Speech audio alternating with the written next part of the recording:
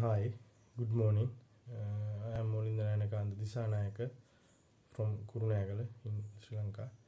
Uh, I am 24 years old. Uh, when I mentioned about my professional qualification, I successfully qualified driving training course in uh, Sri Lankan Transport Board in 2016, uh, and also I successfully completed restaurant and bar service management uh, three month course in Ministry of Tourism in uh, 2020 uh, and also I talk about my work experience.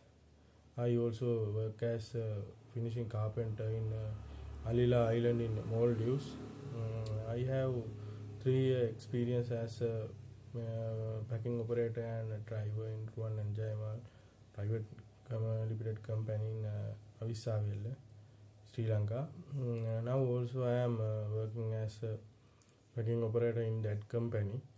Uh, when I talk about my family background, uh, there are three members in my family.